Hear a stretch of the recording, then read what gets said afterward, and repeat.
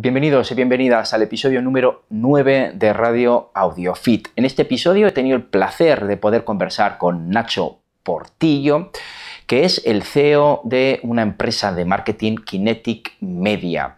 Nacho, entre otras cosas, es también responsable de todo el área de marketing de AudioFit y en esta conversación hablamos de una multitud de temas. Hablamos de su paso por la universidad, del trabajo y de los cursos que ofrecen en Kinetic Media. Hablamos de marketing, de cómo hacer que un programa llegue a más personas, de la importancia de los mentores. Hablamos incluso también del reciente combate de Conor contra Cowboy. Hablamos de los memes en Instagram y de un montón de temas que espero que os aporten muchísimo. Un saludo.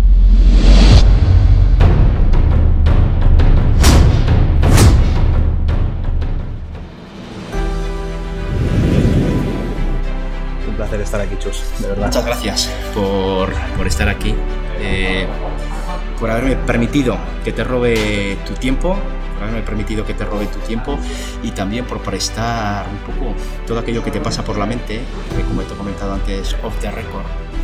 Eh, me gusta mucho hablar con personas expertas en diferentes áreas, tal vez siempre porque desde pequeño he tratado a intentar copiar cuáles son las estrategias que utilizan otras personas para luego poder adaptarlas.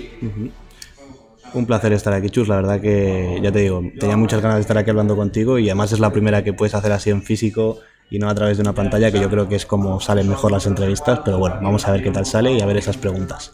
Bueno, me gustaría tratar varios temas, eh, Nacho. El primero de ellos tiene que ver por tus inicios en el mundo de la empresa, por Kinetic Media, luego Kinetic Media, luego me gustaría tratar otros temas, pero la primera pregunta que te quería realizar es ¿cómo surgió Kinetic Media? Es decir, ¿qué te vino a la cabeza para montarte en dicha situación? ¿Tuviste alguna epifanía o fue algo Bueno. empezaste poco a poco? Sí, bueno, más o menos, eh, esto lo he contado algunas veces. Yo no empecé a emprender como cualquier otro emprendedor que lanzó directamente su negocio al mercado. Yo empecé con los premios de emprendedores. Eh, hoy en día hay muchísimos premios, las universidades también están en boga y ayudan a que los universitarios sean emprendedores o por lo menos que lo intenten. Entonces, todo surgió porque eh, yo en mi segundo año de carrera, que ya me puse las pilas, por así decirlo, vi un día que había un departamento de emprendedores en mi facultad de Ciencias Económicas de la Complutense. Entonces me acerqué allí, estuve hablando con ellos, yo llevaba un proyecto, me dijeron que era una mierda, que no valía para nada, era un proyecto anterior. Y entonces sí que me comentaron que había un premio llamado Youth, que bueno, había seis meses de incubación y que eh, las personas que estaban ahí estaban pugnando por un premio que era un viaje a Silicon Valley para conocer el ambiente emprendedor y demás. Y yo dije, oye, pues ¿por qué no? Pero claro, tenía que hacer una solicitud en muy poco tiempo. Y, y claro, yo pensé, joder, ¿qué idea se me puede ocurrir a mí que sea buena, tal? Y a mí siempre me había interesado el marketing, el tema de vender, el tema de comunicar. Y a partir de ahí surgió Kinetic. Kinetic en sus inicios se basaba en un software que yo utilicé que lo creé junto a mi hermana, que es ingeniera informática, para intentar de alguna forma hacer sencillas dos cosas que los emprendedores no podían hacer, que era entender y controlar su marketing digital. Porque yo me di cuenta que los emprendedores cada vez utilizaban menos a las agencias convencionales. ¿Por qué? Porque no les entendían, porque gastaban dinero y no sabían ni a dónde iba, y porque hoy en día ellos querían tener ese control. Entonces yo dije, ahí tiene que haber un hueco para una agencia que sea 2.0, por así llamarlo, que sea una agencia de por y para emprendedores, y ahí es como surgió Kinetic Media. A partir de ahí ha ido mejorando muchísimo, ha ido adaptándose mucho más al sector emprendedor, también al nicho fitness sobre todo. Pero yo te diría que eso es la base de, de Kinetic. Y luego aquí hay mucha gente que se pregunta si los emprendedores estamos un día y eureka y se nos cae la manzana en la cabeza y empezamos a trabajar. Eh, como siempre digo, cuando grabo también con mi amigo Marcos de AudioFeed, la idea no vale de nada. O sea, una idea la tiene todo el mundo. La idea feliz, que estamos tomando un café y, oye, esto podría funcionar. Seguro que cualquier persona que nos escuche lo va a tener alguna vez. No, este negocio podría estar bien. Pero lo importante es la ejecución. Porque sin la ejecución no hay nada. Y hay muchos ejemplos de empresas que han triunfado y la gente dice, wow, menuda idea. Pero si echas la vista atrás, esa idea ya la tuvo alguien más que no supo ejecutarla. Un ejemplo muy claro son los smartphones. Hoy en día, si a alguien le preguntas, oye, ¿quién creó la primera tableta o el primer smartphone? Te dirán Apple. Eh, Steve Jobs junto a Steve Wozniak fue quien creó el iPhone, quien creó el iPad. Pero si tú echas la vista atrás, ves que no, que esos, ese concepto de teléfono inteligente conectado ya existía o las tabletas ya existían. Lo que pasa es que la ejecución y la forma de comunicarlo, de llevarlo al público, no había sido la correcta. Y en este caso ellos sí lo hicieron bien. Vale, o sea, pero por otro lado, ah, la idea es fundamental. Sí, a ver, la, hombre, claro, la idea es la base. Si la idea no es buena, y es un mercado muy trillado o no tienes ninguna propuesta de valor, lógicamente no vas a llegar muy lejos. Puede ser que tengas un negocio que mínimamente funcione. Por ejemplo, si yo quiero montar una gestoría, hombre, las gestorías llevan existiendo toda la vida. Y yo puedo montar una y mi idea puede ser montarla en un barrio con 20 gestorías más o con ninguna. Puede ser que la monte donde ninguna y me vaya bien, pero tampoco va a ser ninguna locura. ¿Por qué? Porque tampoco hay mucho margen de crecimiento. Entonces, claro, sí que hay que tener una idea. A ver, a mí a diario me llegan mensajes de personas que quieren emprender y a cada idea más rocambolesca. O sea, hay gente que tiene unas ideas que yo digo, yo no sé cómo pueden tenerlas. O sea, no sé en qué momento estaban de su vida para tener esta idea. Entonces hay que tener un poco de sentido común. Más allá de eso, yo creo que si estás en un segmento que te gusta, o sea, nosotros hemos emprendido en fitness y yo en marketing porque son los sectores que nos gustan. Hay gente que le encantan otros sectores. Entonces a partir de ahí eh, su sentido común puede juzgar si tiene sentido mínimo o no la idea que ellos tienen. Ahora también ha habido ideas que eran una locura, descabellada, coches eléctricos, cohetes que van a Marte, teléfonos inteligentes interconectados a precios asequibles para todas las familias y han triunfado. Todo depende mucho. En tu labor de emprendimiento, ¿cuál crees que es aquella virtud que más te ayuda en el trabajo día a día o aquella virtud que más te ayuda o te puede ayudar a tener éxito en tu labor profesional? ¿Por qué te pregunto esto? Porque eh, cada vez está tomando más importancia no lo que conocemos, no lo que sabemos, sino la labor que podemos hacer en nuestro propio aprendizaje, en el autoaprendizaje. Y dentro de ese autoaprendizaje, creo que en etapas eh, en educación incluso infantil haya que enseñar a los niños y a las niñas diferentes metabilidades, como por ejemplo puede ser una metabilidad la capacidad de ante una respuesta negativa no frustrarse y ser capaz de seguir para adelante. Por eso me interesa especialmente cuál es tu mayor virtud o la que consideras la mayor virtud para poder llevar a cabo un proyecto de éxito. A ver, habría muchas aquí, pero si me tengo que quedar con una, yo creo que te diría si a bote pronto la capacidad de superación.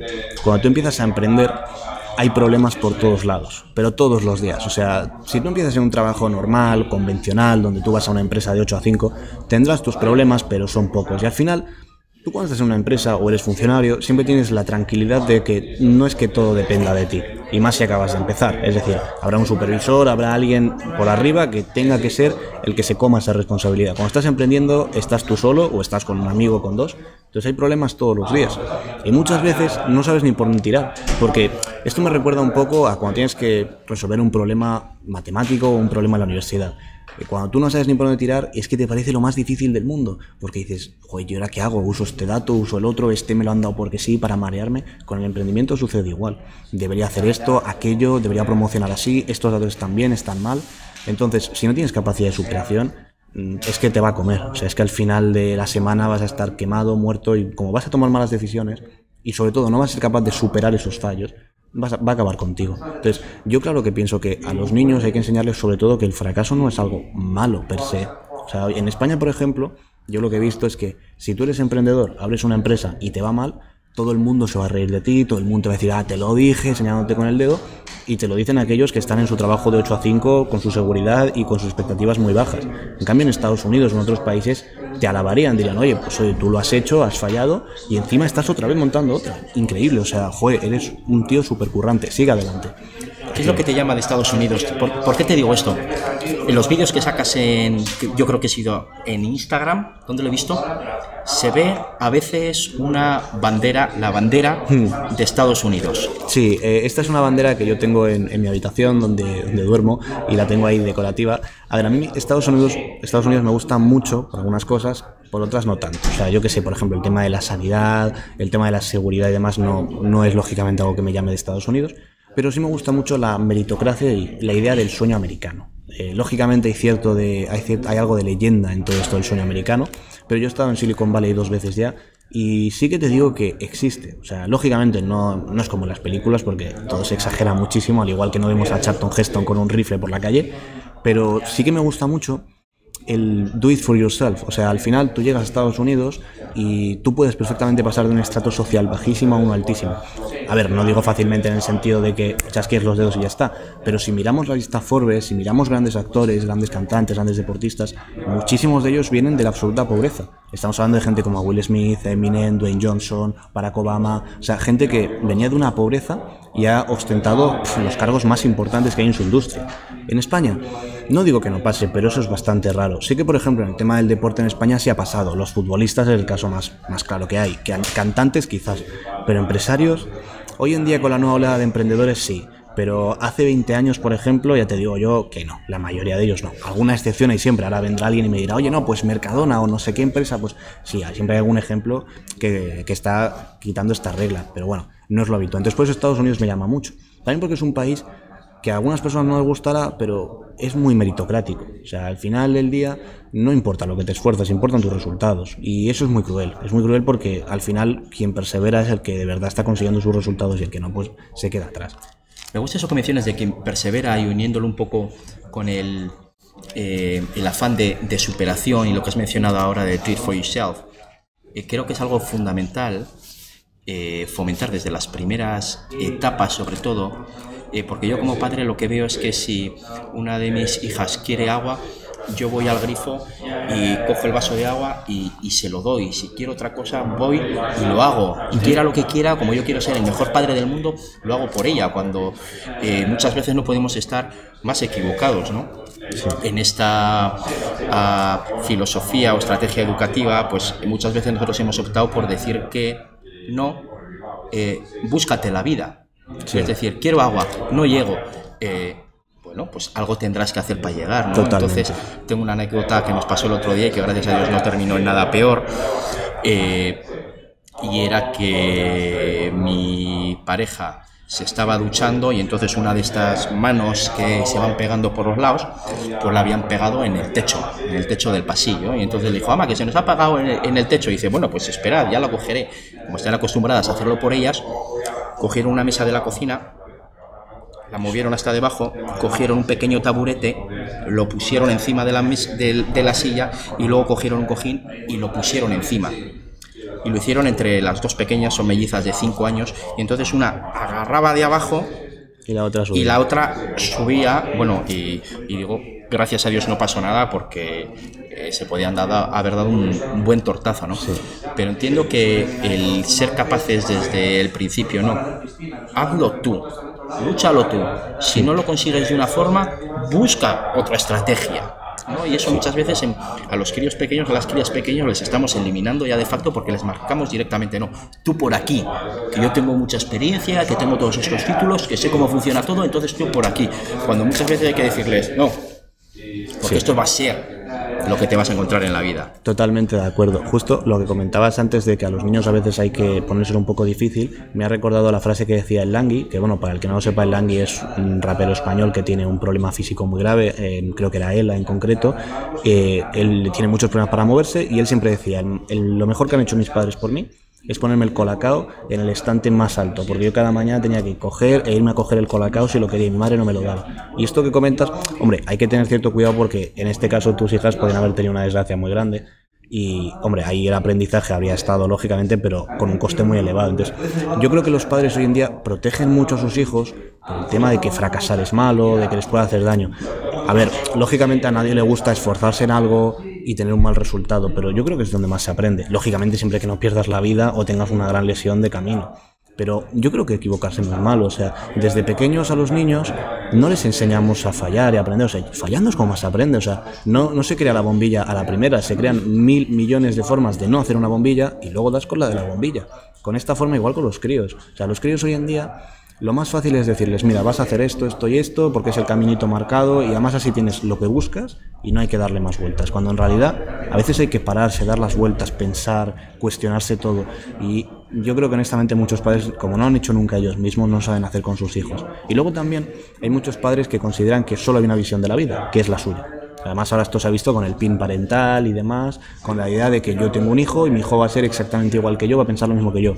Tu hijo puede ser extraordinariamente diferente a ti Y yo he visto casos de, hijos que, aunque se parezcan físicamente a sus padres, mentalmente son dos mundos totalmente opuestos. Y eso es lo bonito. O sea, de hecho a mí me gusta cuando yo hablo con alguna persona que no tenga mis ideas, ya sean políticas, religiosas, espirituales, pero las acepta. O sea, dice, vale, perfecto, tú piensas esto, yo pienso lo otro.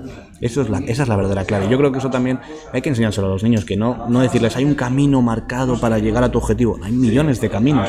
Habrá gente que irá por uno, por dos, por tres, por cuatro. El objetivo no es que discrimines ni a ti mismo ni a otro, es que simplemente encuentres tu camino y lo vayas encontrando. Sí, creo que en eso consiste, creo que en eso consiste y, creo que este trozo deberíamos volver a verlo los que somos padres o, o, las que son madres para repensar un poquito por dónde queremos ir. Pero dicho esto, es que ser padre es muy difícil, o sea, yo admiro mucho a la gente que tenéis hijos, de hecho, hace poco una chica que me, me escribió porque ella estaba educando a su hija y había escuchado un podcast que hice con Pedro sobre emprender desde abajo y me, me comentaba que hasta qué punto la educación de mis padres había tenido una importancia en la mía, o sea, cómo me habían educado y demás. Yo creo que es muy importante porque te tocan unos años súper clave, pero luego también depende mucho cosas que a veces los padres no veis o no todos ven. O sea, los padres no se tienen que centrar tanto en si su hijo saca un 7 o un 8, sino en escucharle, sino en saber si está bien. Porque el sacar un 6 en matemáticas o un 7 es efímero, es una cosa de un día y no le va a afectar tanto en la vida, pero que ese hijo crezca feliz, que pueda comunicar, que esas son las cosas más difíciles de criar un hijo y desgraciadamente veo a muchos padres que por el trabajo, por lo que sea, no tienen tiempo para ello y es una verdadera pena. Miré lo que veo, que estamos tratando un poco el tema de la paternidad. Lo que para mí es especialmente difícil es, te levantas, les llevas al colegio, vuelves a casa, eh, recoges el desayuno, limpias la casa, haces la comida, les recoges del colegio, les llevas a comer, les vuelves a llevar al colegio, vuelves a recoger la casa y lo haces todo esto rápidamente para hacer las compras y volver a cogerles del colegio y luego estar con ellos jugando o trabajando lo que tengan que trabajar. ¿Y por qué digo esto? Porque ser padre puede ser, y, digo padre en masculino, ¿eh? no en femenino, aposta, puede ser muy fácil, porque yo voy a trabajar, vuelvo a casa, tengo todo hecho, juego un poco con mis niños, tiempo de calidad, juego un poco y ya está, a dormir, o puede ser extremadamente difícil, que muchas veces eh, creo que ahí lo que está es muy minusvalorada lo que ha sido hasta ahora, ya no tanto porque la mujer ha entrado ya mucho más en el mercado laboral, la labor de las madres. Sí, totalmente. O sea, yo, claro, depende también del trabajo que tengas, pero yo el nivel de estrés que tengo cuando tengo que cuidar a las tres crías en casa y el nivel de estrés que tengo cuando voy al trabajo es totalmente, diferente. Sí, sí, totalmente de acuerdo. Volviendo un poquito al tema del aprendizaje. Eh, emprender está más o menos de moda, pero emprender esfuerce... Eh, emprender requiere de un esfuerzo, de un sacrificio. ¿Merece la pena ese esfuerzo, ese sacrificio, porque muchas veces te planteas, ¿puedo estar yo aquí todo el día enganchado al móvil o enganchado al trabajo? Porque muchas veces es muy difícil cortar. ¿Merece la pena ese esfuerzo? Bueno, yo lo compararía un poco con la gente que quiere ser futbolista. Yo siempre quise ser futbolista, por eso siempre hago muchos símiles con esto. Y para el que no lo sepa, si un crío se quiere dedicar al fútbol de forma profesional, desde los 7, 8 años está jugando en equipos federados, está entrenando tres veces por semana, se está perdiendo muchas cosas. Luego llega la adolescencia, que es la etapa más crítica para un deportista que aspira a ser profesional y la etapa más crítica para un ser humano en general. Y lo que pasa es que a lo mejor haces tanto esfuerzo, sacrificas tanto para nada. O yo he conocido a muchísimos compañeros como yo que apuntábamos muy alto, que podíamos llegar a la primera división y no, no han llegado a nada. Yo tampoco, en ese sentido. Entonces, es muy triste cuando has sacrificado todo eso y no le ves más rendimiento que el decir, no lo he conseguido tienes que ver ese aprendizaje, tienes que ver cómo te ha cambiado como persona. Yo estoy muy contento de ser quien soy hoy porque si no hubiera emprendido no sería así. Lógicamente, si merece la pena, al 1% que consigue ese gran éxito que conocemos, sí. También te digo que no conocemos a la mayoría de emprendedores exitosos. O sea, la gente sí conoce a Mark Zuckerberg, a Elon Musk, a Jeff Bezos, pero, por ejemplo, eh, Hawkers es una empresa, una startup fue aquí en España, que consiguió una valoración cercana a los mil millones de euros la fundaron cuatro chicos de Alicante y seguramente la mayoría de gente que nos está escuchando no sabe el nombre de ninguno de ellos. Entonces dices, entonces el emprendimiento mm, es algo que merece la pena o no. Depende, si ni siquiera sabes los nombres ni qué han hecho gente que ha creado grandes empresas y son multimillonarios. O sea, ya no estamos hablando de alguien que gana 10.000 euros al mes, que ya sería un salario muy bueno en España. No, no, gente que está ganando millones de euros al mes con veintipocos años. O sea, no estamos hablando de Amante Ortega, que como quien dice, dentro de nada le toca ya terminar esta vida, no, no. Estamos hablando de gente joven y gente que tiene muchísimo futuro por delante. Entonces yo sí creo que merece la pena, porque a mí me gustó una frase que decía Conor McGregor, que él decía, yo nunca pierdo, yo gano o aprendo. Y es, es verdad, o sea, al final, eh, si tú tienes un combate, o tienes una empresa, o tienes lo que sea, puedes enfocarlo de esta manera. Si me sale bien, he ganado, perfecto, era mi objetivo, voy a disfrutarlo. Si no me sale bien, oye, he aprendido. O sea, he cogido y he hecho un combate y lo he perdido en 40 segundos. Vale, ya tengo algo que hacer. Mejorar por qué lo he perdido. Analizar por qué lo he perdido. Con una empresa igual. Entonces, la gente yo creo que también a veces tiene una idea preconcebida de solo hago esto si me aseguras que me va a salir bien o si hay X probabilidades de que me salga bien. Hombre, cuanto algo mejor es, es decir, cuanto más dinero hay, cuanto más hay en juego, más difícil es saber si te va a salir bien o no. Y ahí es donde entra el juego el riesgo. De acuerdo. Que ahora que ha salido a colación con McGregor, acaba de ganar. Sí. Ganó hace un par de días, ¿no? El Contra combate. Cowboy. ¿Le dio con el hombro? ¿Con qué le dio? Porque Sí, no lo... primero con, con el hombro, eh, supuestamente, también es verdad que fue muy rápido, fue en 40 segundos también. Sí. Y, y lo que se ve es que hacen un clinch rápido, entonces McGregor le da con el hombro. Y sí que es cierto que si ves el combate a velocidad normal y no te fijas, no sabes muy bien qué ha pasado. Pero si ves la repetición, sí que ves que con el hombro estratégicamente le da muy fuerte en la, la zona de la nariz. Y es una zona que nosotros, los seres humanos, tenemos muy sensible. Entonces, cuando te dan un golpe muy fuerte, tiendes a marearte. A partir de ahí, Cowboy es cuando cae. Y ya McGregor está rematándolo, como quien dice. Ya el árbitro tiene que parar la pelea porque, lógicamente, la, la salud es lo primero. Y luego, cuando ya ves el combate, lo analizas, eh, dices, anda, ha pasado eso. Y esto pasa lo mismo con las empresas. A veces vemos algo desde fuera. Por ejemplo, pensamos Uber, Cabify, ah, si en el fondo se han copiado una a la otra, es lo más fácil del mundo. Dices, ya, pero tienes que fijarte en los detalles. Yo siempre digo a mis clientes que en marketing y en comunicación los detalles son todo. O sea, tú no puedes decir es cuestión de suerte, es que estaba en el mejor sitio, es que le ha ido muy bien. No, o sea, quien dice eso normalmente no ha rascado un poquito más y no ha visto todo eso. Y seguramente McGregor ha estado semanas de sparring practicando ese movimiento o practicando otros A- 25. Así lo dijo, así lo dijo. Pues eh, habrá estado a lo mejor haciendo otros 25 que no ha tenido oportunidad ni siquiera de sacarlos. Y en ese momento, a lo mejor 25.000 horas de trabajo que ha hecho con ese hombro han sido 20 segundos o 10 segundos de lo que, lo que ha hecho en el combate. Luego ya simplemente ha tenido que terminarlo. Entonces, Eso lo que veo, te, te gusta la lucha libre. eh, bueno, sí, la, la MMA en este caso sí, o sea, en este caso sí la suelo seguir, no todo lo que me gustaría, pero sí que, que sí, sí que la sigo. También es una pena porque el chico contra el que peleaba McGregor, que es eh, Cerrón, eh, Cowboy, es bastante bueno también. Y, y en este caso, también haciendo un paralelismo con el emprendimiento, este chico tenía la oportunidad de resarcirse y de poder ser uno de los más importantes y quizás con esta pelea ya le va a ser un poco más complicado. Esto pasa mucho con, con esta gente que se dedica a esto, que pierden dos o tres peleas seguidas. McGregor hace nada estaba súper discutido, eh, había perdido Sí. contra Khabib, había perdido con Mayweather, estaba haciendo el tonto entre el boxeo, la MMA, el no sé qué, el no sé cuál. Y ahora ha ganado un poquito de aire, como quien dice, porque ha ganado este combate. Ya lo hablaba el otro día con un amigo, digo, bueno, este ha ganado el combate, pero hasta final de año con suerte no vuelve a pelear. O sea, yo creo que en el fondo no hay que, no hay que acomodarse. O sea, yo si fuera McGregor ya estaría hablando con Dana White para decirle quiero otro combate dentro de X meses. No, no me quiero esconder. Y con el emprendimiento pasa igual. Hay gente que monta una empresa, la vende por muchos millones y se va. A mí me gustan los casos como el de Elon Musk, que Elon Musk, eh, muy poca gente lo sabe, pero antes de SpaceX y antes de PayPal creó otra empresa, ahora no me acuerdo el nombre, pero la vendió por, no sé si fueron 20 millones, y él se llevó como 2 millones o 3 millones de dólares, con 20 y pocos años. 2 o 3 millones de dólares te da para vivir casi toda tu vida si eres listo. Y él lo primero que hizo fue, vale, voy a crear otra empresa. ¿De qué? No lo sé. Y fue el precursor de PayPal. Y luego después de PayPal vino Tesla, vino un montón de cosas más. Entonces, él podía haber hecho como un luchador, ¿no? Y haber dicho, he ganado mi combate, he ganado dinero, me quedo en casita, vivo mi vida, tranquilito, o me vuelvo a jugar el pellejo. Ahora que hemos hablado un poco de la lucha libre, te voy a tirar un punch directo, directo a la cara o a la nariz. ¿Por qué me tengo que comprar yo, si quiero aprender sobre emprendimiento, un curso de los que ofrecéis en Kinetic Media, si yo soy capaz de recopilar y de ordenar la información que quiero aprender? Que esa es una de las grandes preguntas que yo me realizo. ¿Por qué una persona vende un curso? ¿Cuál es el beneficio de realizar ese curso si yo soy capaz de encontrar y tener ordenada dicha información? Bueno, lo primero, ah, me gusta mucho cómo has enfocado la pregunta y has empezado con un condicionante. Es sí, yo soy capaz de. Ya estás asumiendo que tienes la misma capacidad que esa persona que ha hecho el curso de filtrar, sintetizar y demás. Cuando compramos un curso, no lo hacemos porque el contenido sea súper secreto, la receta de Coca-Cola que está guardada.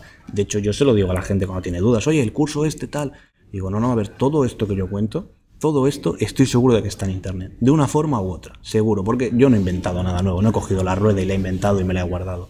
Ahora, lo que estás haciendo es sacar un montón de aprendizaje práctico de forma rápida, acelerada y sin un coste de oportunidad. Porque yo la mayoría de cosas que enseño en los cursos, por ejemplo, cuando hablo de herramientas, yo en el curso hablaré a lo mejor en total de 30 o 40 herramientas. Pero a lo mejor yo en estos años he probado más de 300, gastándome mucho más dinero o gastando mucho más tiempo. Y de esta forma es, tú quieres algo rápido y sencillo, pum, aquí está. O sea, no pierdas el tiempo, no pierdas dinero. ¿Tienes dudas? Pues en vez de estar buscando en foros, en vez de estar buscando en redes sociales, en vez de... No tienes aquí, o puedes preguntar, o tienes una comunidad. Eh, ¿Por qué los cursos triunfan hoy en día? Al igual que ha triunfado siempre la universidad, porque es un camino marcado. O sea, los seres humanos no nos gusta la incertidumbre, no nos gusta empezar un camino sin saber dónde va a acabar. En cambio, con un curso es mucho más fácil. Tú dices, ah, vale, pues primera clase, segunda clase, tercera clase, segundo módulo, luego me va a contar esto, después aquello, vale. Entonces, ahí sí que tiene un sentido. Eh, lógicamente, yo hay, gente que me pregunta, ¿no? ¿Y por qué tengo que comprar tu curso y no el de Euge Oyer o el de Bruno Sanders? Porque ellos eh, son X o son Y o son Z. yo digo, no, no seré yo el que te voy a decir aquí, pues mi curso es el mejor. Sí que hay gente que lo hace, sí que hay gente que ataca los puntos de dolor y dice, no, pues tú cuánto facturas, eh, tanto, pues conmigo y mira, yo facturo muchísimo más que tú, tienes que comprarme el curso. Yo prefiero decirle, mira, ¿quieres saber si el curso merece la pena? Perfecto, tienes X clases abiertas en la plataforma, puedes verlo, puedes comprarte el curso, tienes 14 días de devolución, no te gusta o te lo haces entero y me quieres estimar, yo te voy a devolver el dinero, no me voy a preocupar. Y también si me dices, no, mira, es que yo quiero aprender, pero no quiero gastarme un solo duro, cero, nada, no quiero aportar ni un euro, no hay problema Tienes mis vídeos gratis en Instagram, tienes clases gratis en la plataforma, tienes internet en general, puedes preguntarme lo que quieras. O sea, en ese sentido yo intento ganarme a la gente, por así decirlo, dándoles confianza. O sea, yo por ejemplo mm, tengo una reunión gratuita de media hora para analizar casos prácticos y estoy en la oficina y tengo reuniones con gente que no conozco de nada y estoy media hora escuchando su caso y dándole acciones concretas. O sea, no, no me guardo nada, por así decirlo. Y yo creo que eso es lo que hace que la gente decida confiar en mí para estudiar. De momento, todos los alumnos que están en la plataforma, nadie ha devuelto el curso. Y eso es lo que a mí más feliz me hace. O sea, mucho más que el haber vendido cientos de miles de euros más, el hecho de que la gente que se lo está haciendo, se lo está haciendo y está aprendiendo, está preguntando y demás. Entonces yo te diría, ¿por qué tengo que hacer este curso en vez de otro? Yo te diría porque la confianza, la transparencia y la practicidad yo creo que no la tiene ningún otro curso online, hoy en día por lo menos. Luego ya podemos hablar de si hay cursos que estén mejor grabados, si hay gente que tenga más cientos de miles de seguidores, que facture más, que por supuesto gente como Eugenio o Bruno Sanders facturan muchísimo más que yo. Y eso ya pues cada uno tendrá que decidir cómo quiere que sea el curso que quiera hacer. Has mencionado dos requisitos que para mí son muy, muy valiosos. Uno de ellos es la confianza. Hmm. Es una de las cosas, por ejemplo, que yo valoro mucho a la hora de trabajar con alguien. Eh, trabajo con alguien sí o no y una de las condiciones es que para trabajar tengo que confiar en esa persona. Si es una persona, aunque sea muy buena profesionalmente en su ámbito, si no confío en esa persona directamente no, no trabajo con ella. Y luego otra de las cosas que has mencionado, la practicidad, que así lo habéis puesto también en la página web. Eh, es un curso práctico 100%. Desde que empiezas, empieza ya a ser práctico. Me parece un valor añadido muy grande porque muchas veces cuando se compra un curso o cuando realizas un curso no se ve, o cuando estoy dando yo clases en la universidad, no se ve esa parte práctica que es como realmente se, se aprende, ¿no?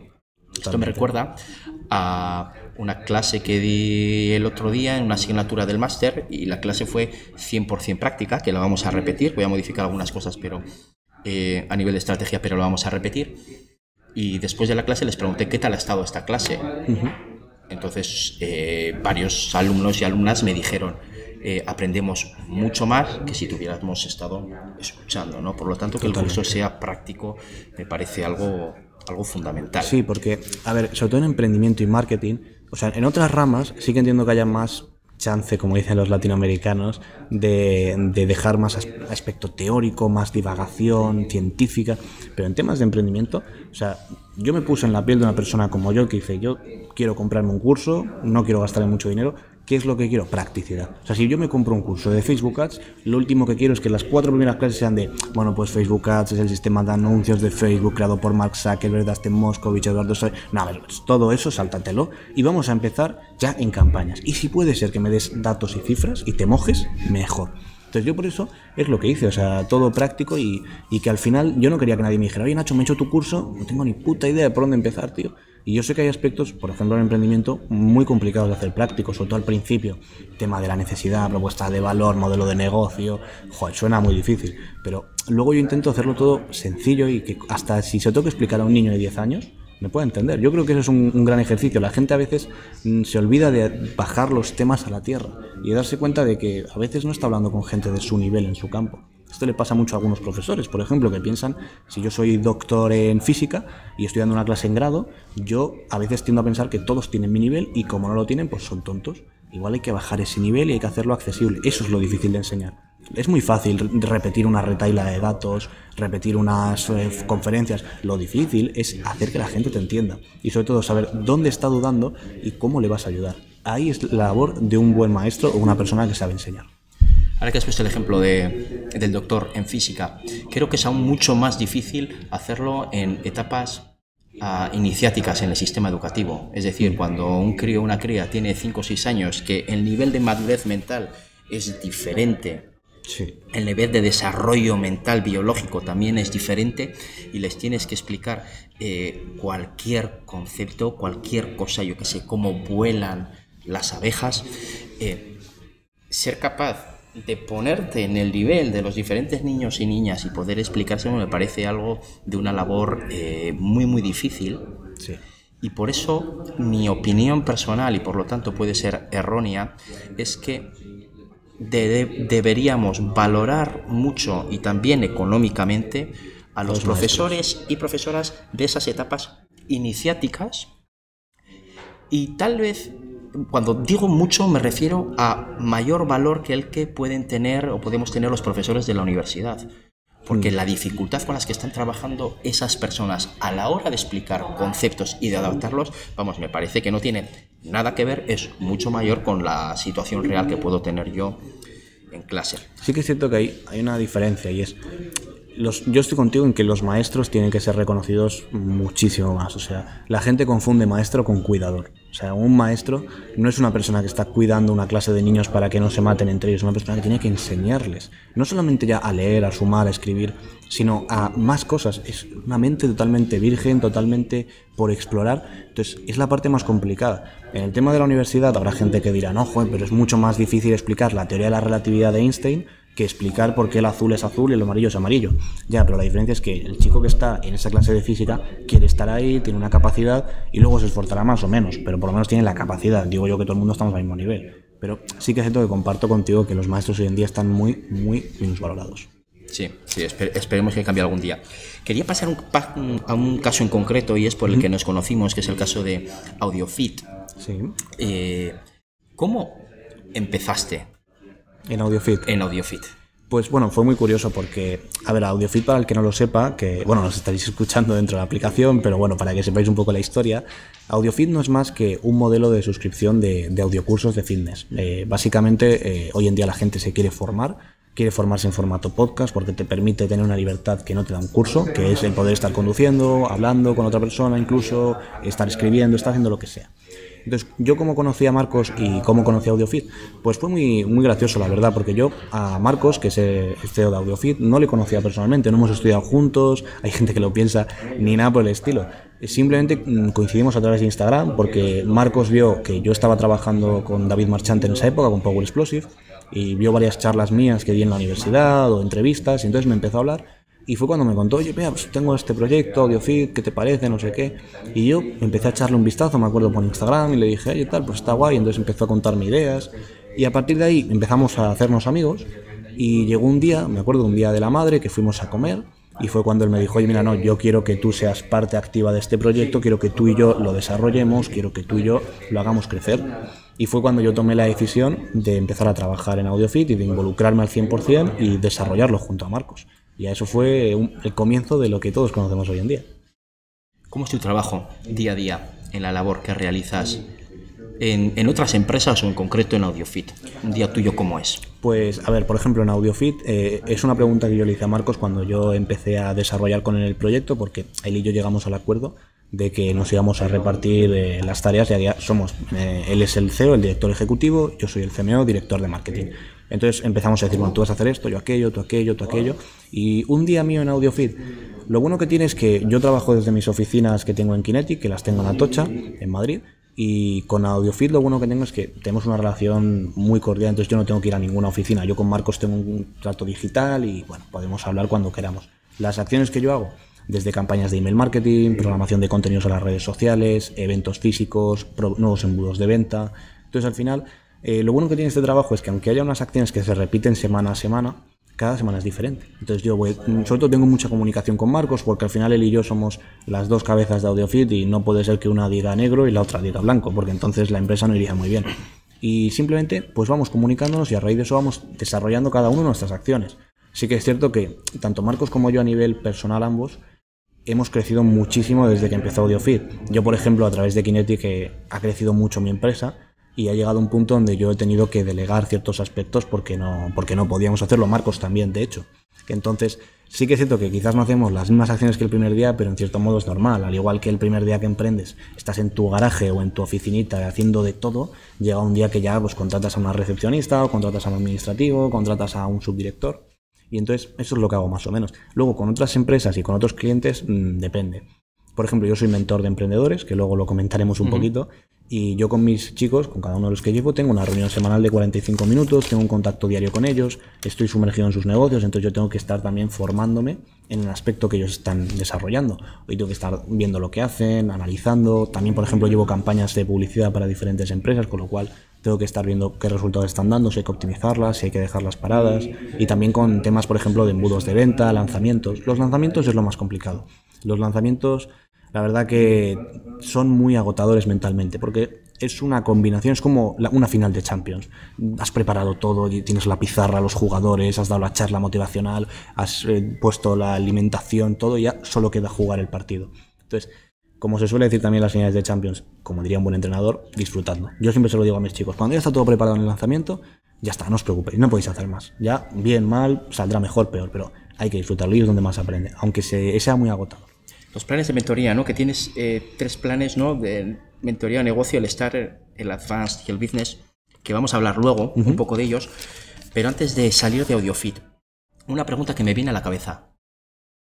Eh, desde mi desconocimiento en el mundo del, del emprendizaje, respecto a la cuenta de Instagram de AudioFit, una de las cosas que a mí me aporta valor es yo formo parte de una comunidad que muestra una calidad excepcional y yo soy parte de esa tribu. Entonces yo creo que Instagram como otras redes sociales y otros canales se puede utilizar para dar ese look, ese ambiente. Y entonces me sorprende desde este punto de vista que muchas veces en Instagram se metan memes con los que en primera instancia tú puedes decir, ostras, eh, yo no me identifico con esto. Alguna persona podría pensar, menuda estupidez. Sí, sí, totalmente de acuerdo. Lo puedo estar viendo desde un punto de vista totalmente erróneo, entonces la pregunta es la siguiente. ¿Qué es lo que aportan? ¿El por qué? Porque eso seguro que es deliberado, el poner esos memes y está pensado. ¿Qué es lo que aporta eso? Los memes fueron una seña de identidad del nacimiento de AudioFit. Eh, los memes, bueno, hoy en día los memes en cualquier segmento son muy conocidos, es una forma muy rápida de comunicar y de, sobre todo, de coordinarte con el que te está viendo, o sea, de que piense, anda, mira, qué situación tan graciosa, o anda, mira, eso me ha pasado a mí. Entonces, sí que es cierto que los memes han sufrido una evolución en AudioFit. De hecho, si tú ves los primeros y ves los de ahora, los primeros eran mucho más agresivos, mucho más poco profesionales, incluso ofensivos, podríamos decir. Pero hoy en día son mucho más, eh, vamos a decir, family friendly, como diría YouTube. Entonces, en ese sentido, ¿por qué hacemos memes? Porque funcionan. O sea, al final, nosotros nos dimos cuenta de que AudioFit podía tomar dos caminos, ir al camino completamente científico o un camino híbrido que sea una mezcla entre ciencia y pasarlo bien. Entonces nos dimos cuenta de que había muchas empresas y de que había muchas personas que se dedicaban a tener un perfil científico que las redes sociales no conseguían el alcance que se merecían. Y sí que es cierto, pero si tú no tienes el alcance bueno, que tiene que tener una cuenta, no puedes demostrar lo bueno que es tu producto. Aunque sea muy bueno, aunque sea mejor del mundo, si la gente ni siquiera te presta atención, no se lo vas a poder contar.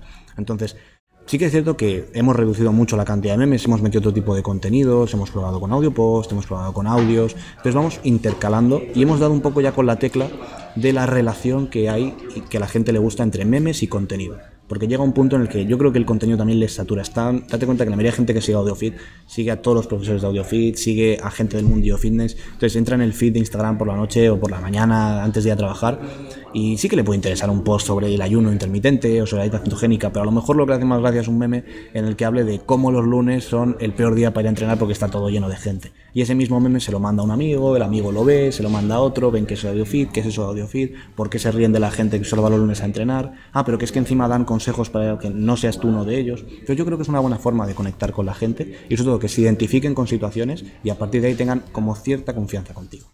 Vale, Vale, sí, es cierto que en esa medida, como tú dices, es más family friendly, ¿no? Y, que te identificas más con, con, esa situación. Te hacía esta pregunta porque eh, este desconocimiento me viene dado a que en la cuenta que utilizo yo ahora en Instagram para colgar vídeos o colgar información, no la he utilizado nunca en ningún caso con el fin de aportar valor y esto ya sé que decir esto es a suicidarse a nivel de redes sociales, sino que la he utilizado eh, con el objetivo de aprender yo. Hmm. De aprender yo, ¿no? Pero claro, eh, yo no estoy vendiendo ningún producto ni, y por lo tanto no tengo que aportar pues quizás eso es lo mejor a fin de cuentas porque no, no, tienes que verte atado a hacer nada. Nadie debería verse atado nunca a hacer X contenido. Esto pasa mucho con los youtubers. Los youtubers hacen un contenido, funciona y entonces, como están vendiendo, ya sea visualizaciones, marcas, lo que sea, están atados a seguir teniendo esos grandes números.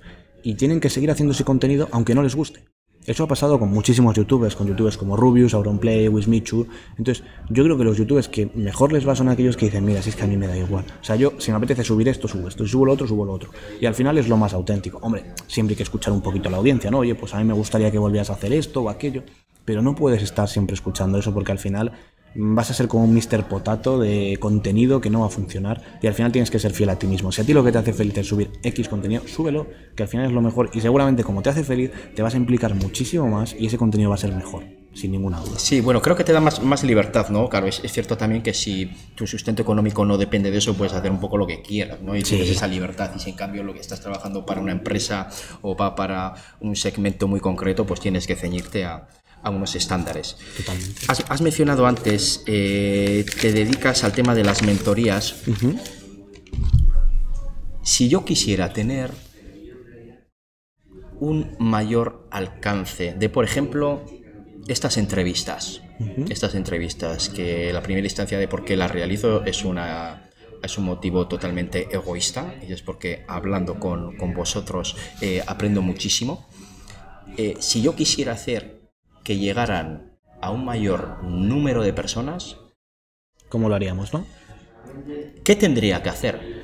Bueno, pues a ver, eh, la labor de un mentor, que es una figura que lleva existiendo muchísimos años, tanto en la sociedad como en los negocios, por ejemplo, en Estados Unidos, la labor de un mentor es la de guiar a una persona por un camino que él ya ha pasado o que conoce muy bien sobre todo es acelerar el proceso. O sea, un mentor, el objetivo que tiene es que tú cometas los mínimos errores, ojo, te va a dejar cometer alguno, porque tienes que aprender, es lo que hemos hablado antes, pero no errores grandes, no errores que, como en el caso de tus niñas, pueda suponer algo muy grave, sino errores que te den una hostia a la cara, que te haga un poquito de daño y te digan, eh, ha dolido, ¿no? Pues a, a seguir andando. Entonces, eh, hay gente que, por ejemplo, tiene muchas dudas de qué hace exactamente un mentor, porque hoy en día se confunde el mentor con el coach. Eh, entonces yo siempre cuando yo tengo una reunión gratuita de media hora con todo el mundo que quiera para analizar su caso, darle acciones concretas y contarle cómo trabajo. Y a partir de ahí, yo siempre les digo, aquí no te esperes que te voy a dar golpecitos en el pecho y te voy a decir eres el mejor, créete que eres un, león, saca el tigre que llevas dentro y vete a, comerte el mundo. No, no, aquí esto va de acciones concretas. Si me vienes tú, Chus, y me dices, Nacho, tengo un podcast y quiero que lo escuche más gente, ¿qué podemos hacer? Pues yo te diría en la reunión, bueno, pues mira, vamos a hacer varias cosas. Lo primero, ¿tienes página web? La gente lo puede encontrar. Eh, no, vamos a crearla. Sí, vale, ningún problema. Hay que cualificar tráfico y hacer que haya tráfico a esa web. A partir de ahí vamos a hacer una serie de parámetros para analizar qué está pasando y para escalar. O sea, no va a empezar a... Porque tú dirías, ¿qué vamos a hacer? ¿Meter cientos de euros en Facebook Ads desde el día 1? No, hombre, no, no tiene sentido, ¿no? Habrá que meter poquito, analizar los datos, dar un poquito con la tecla y a partir de ahí escalonadamente ir subiendo. Como por ejemplo pasa con una persona que empieza a entrenar. Una persona que empieza a entrenar puede ir al gimnasio y decir, pues me voy a hacer todas las máquinas y voy a hacer unas repeticiones de locura. A las dos semanas se ha roto algo. Lo que tiene que hacer es dar un poquito con la tecla. Primero tendría que definir qué es lo que quiere. Porque tú, por ejemplo, me has dicho más alcance. ¿Qué son más alcance? Más visitas, más comentarios, más engagement, más entrevistas, eh, grabar en otros países, lo definiríamos. Igual que en el fitness, cuando yo llego a un entrenador y le digo, oye, quiero estar fuerte. ¿Qué es estar fuerte? Jorge Pérez Córdoba es muy fuerte y no creo que ganase un campeonato de culturismo. Ronnie Coleman es muy fuerte, pero no creo que tenga salud hoy en día. Entonces, tendríamos que marcar objetivos y a partir de ahí ir creciendo. Y ya te digo, mi papel como mentor, lo que yo hago es exactamente esto. Lo bueno que tengo es que al trabajar como mentor me tengo que forzar a mí mismo al estar muy al día, estar en todos los sectores. Tengo, la mayoría de clientes son gente fitness, eso es verdad, pero tengo gente que está en otros nichos, como puede ser la electrónica, las tiendas online, el trading. Entonces, ahí me fuerza un poco a no hacer lo que te estaba comentando antes, al no dormirme los laureles, al no decir, bueno, yo tengo aquí mis clientes, soy muy bueno en este sector, me voy a echar a dormir sino que tengo que ir aprendiendo. Y a partir de ahí ya te digo, lo bueno que tengo yo es que siempre intento que todos los chicos estén en positivo, es decir, que yo les genere más dinero del que yo les cuesto. Y de momento lo estoy consiguiendo con todos ellos. Lógicamente hay algunos que tienen cifras muy grandes, hay algunos que han facturado más de 10 o 15 mil euros al mes ya, y hay otros que tienen cifras más modestas. Pero yo siempre les digo, las mentorías no se trata únicamente ni de dinero ni de aprendizaje, porque si tú quieres solo dinero, me contratas como agencia, yo lo hago por ti, pum, ningún problema. Si quieres solo aprendizaje, te compras un curso o vienes a un evento mío y ya está. Las mentorías son una combinación de ambos y además personalizado a ti. Algunos meses toca ganar un poquito menos porque estamos al principio y aprender mucho más. Y algunos otros meses toca más dinero y un poquito menos de aprendizaje, pues porque menos hemos centrado en algo que daba más dinero, como puede ser campañas o embudos, y a partir de ahí se irá viendo si algún mes toca más una cosa o de otra. Tres preguntas te quiero realizar para para ir terminando, después me volveré a ver esta parte para, para, analizarlo bien. Y una de ellas que hemos estado hablando mucho de los mentores, ah, me interesa especialmente enfocada en el área de la universidad. ¿Qué es aquello de la universidad que te has llevado contigo por su valor positivo? pues te diría que varias cosas. Hoy en día, lo estábamos hablando antes, eh, la gente critica mucho la universidad y ojo, yo creo que siempre tiene que haber críticas, pero constructivas. Y sobre todo, con todos mis respetos, tiene que venir de gente que ha pasado por la universidad y que la universidad ha pasado por ellos. O sea, yo estoy harto de ver a gente que critica la universidad, que la universidad no ha pasado por ellos, que han ido a los típicos que estaban en la cafetería, en la última fila, que se han rendido a la segunda semana y que han estudiado una carrera en la cual toda la gente pasaba de un año a otro para mí, lo siento por esa gente, sus críticas vacías no tienen ninguna utilidad.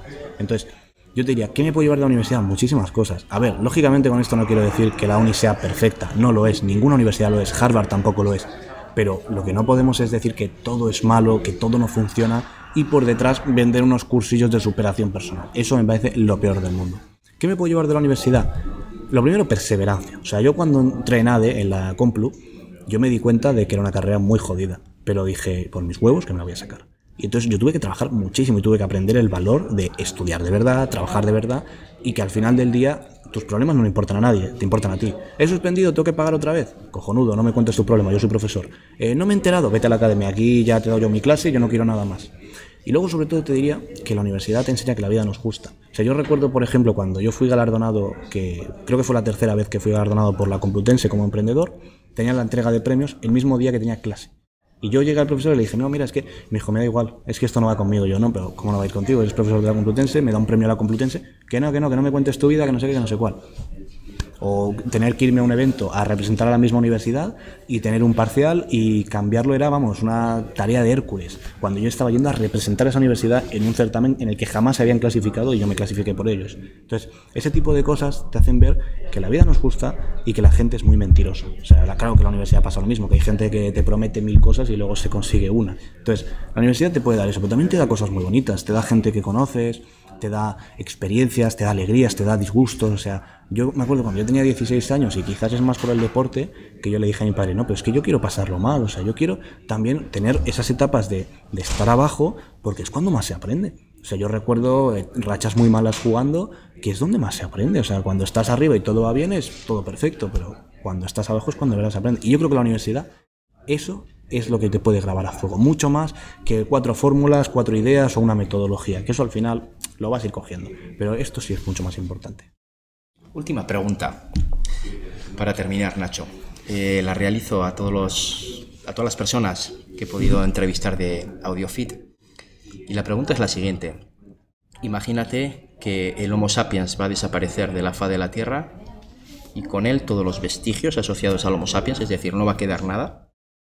Y Nacho del Portillo es la única persona que tiene un papel y un bolí para dejar grabada una frase, o escrita una frase, y ese va a ser el único vestigio que va a encontrar un nuevo sapiens que va a resurgir dentro de 500 años.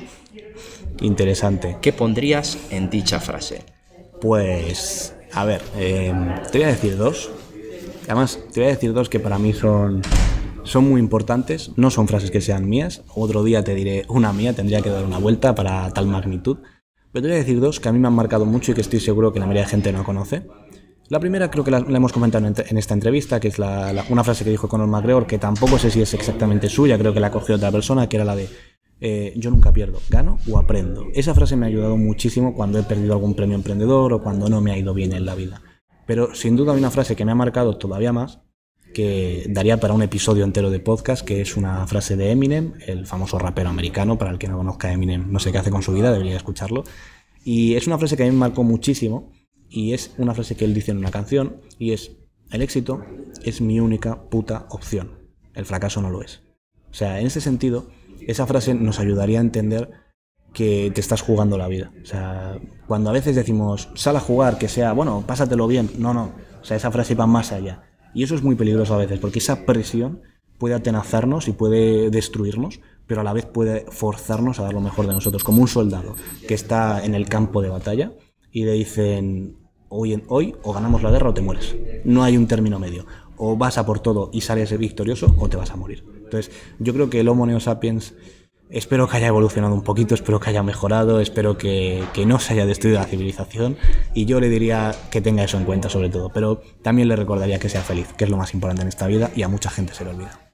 Nacho, Muchísimas gracias por, por, este tiempo y por haber compartido todo esto con, conmigo y con, con, las personas que escuchen o, o que vean esto. Un, placer, Un placer enorme, Chus, la verdad. Eh, ya hablaremos para colaborar nuevamente, porque la verdad que estado muy cómodo y podríamos hacer alguna cosita muy interesante por aquí. Y nada, para la gente que nos escuche, ya sabe que cualquier duda o cualquier pregunta me la puede lanzar o bien por Instagram o por correo y demás, o aquí en los comentarios mismamente, y estaré encantado de ayudaros. Gracias, Nacho. Un placer.